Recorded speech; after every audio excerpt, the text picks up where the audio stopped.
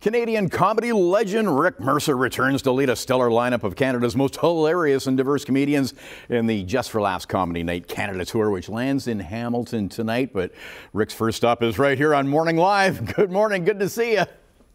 Good morning. It's great to be here. Thank you. Yeah, last time you were on, you were uh, here with your, uh, well, virtually with your uh, best selling uh, memoir, Talking to Canadians. So thanks for talking to us Yeah. again. Since then, where were you during the Will Smith slap?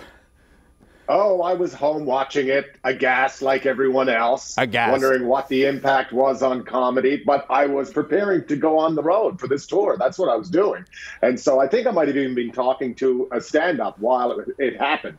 But uh, I was mostly just preparing to head out on the road. Well, and that's why I asked you too the impact. uh, You've spoken before on cancel culture and, and its uh, negative impact on comedy, and and as a comic, seeing that moment right there, what were your thoughts?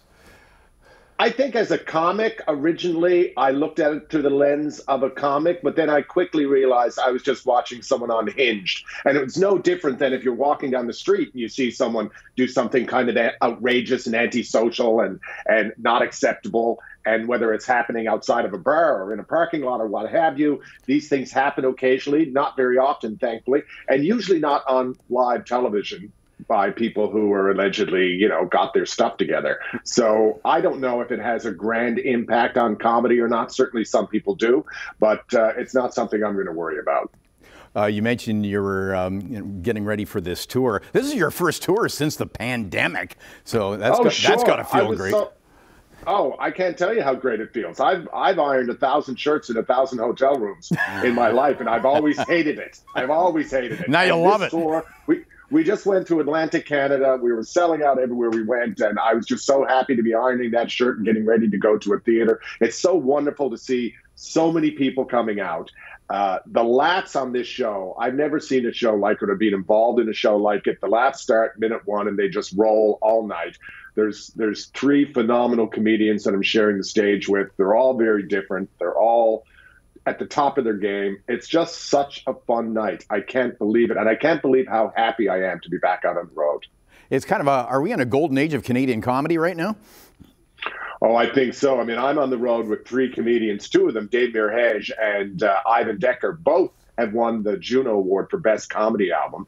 And Eman El-Husseini is a superstar, a global superstar now, who every year she does the Montreal Just for Laughs Festival and uh, and is an audience favorite every single year. These are these are comedians at the top of their game. I'm learning so much from them. I'm watching them every single night. Dave is phenomenal. Ivan Decker, who's there on the screen now, I watch him every single night from the side of the stage. It's uh, it's a it's a master class in stand up. It's unbelievable. Now, post pandemic, but how much uh, how much uh, comedy fodder comes from the pandemic? Well, people are always talking about current events, of course, and that's current, but we're not talking about the pandemic too much. Absolutely not. Then, of course, I, in Ontario, we've got an election coming up. We've got it, for me personally, we've got a conservative leadership race that's happening right now. So I always dip my toe into those those things.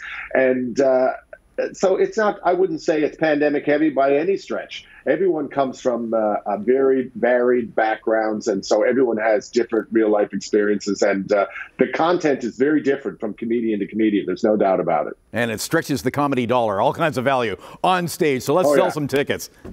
We'll get the Yes, information. please. on So we're tonight. We're, we're at the FirstOntario Concert Hall tonight, and uh, like I say, you go to hahaha.com. I believe it spells exactly like it sounds, hahaha.com.